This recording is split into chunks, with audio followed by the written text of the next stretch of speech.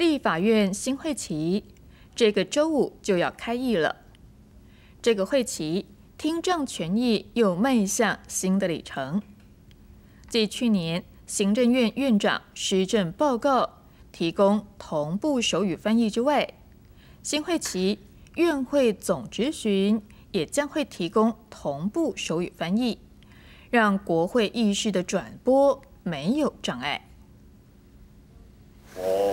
会频道收看一二三一二四。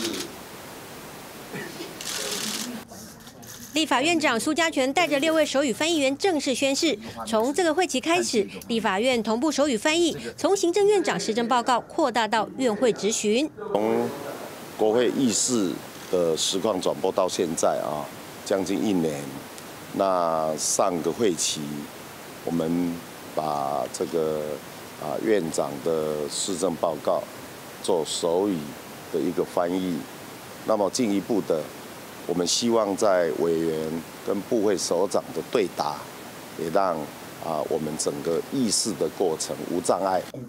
这一次打头阵的六位手议员都是领有乙级证照，而且还经过国会手语班的培训，将一些平常用不到的，像是九段线、一例一休等政治实事用语，好好加强一番，甚至拿先前立院质询的画面来实习。未来每次咨询都会有四位手议员在现场轮替，立委与部会首长问答时，会像这样同时开两个框，两位手议员各自负责翻译一方。不过，万一双方言辞交锋很激烈的时候，对手议员来说是很大的考验。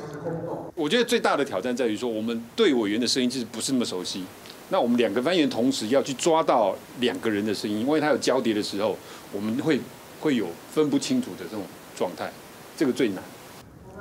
立法院长苏家全也说，虽然不知道未来院会会发生什么样的状况，但是他看了目前准备的结果，给了一百分。希望除了院会同步手议，未来也能够推动到委员会，让国事议会转播无障碍。记者陈秀玲、刘汉林台北报道。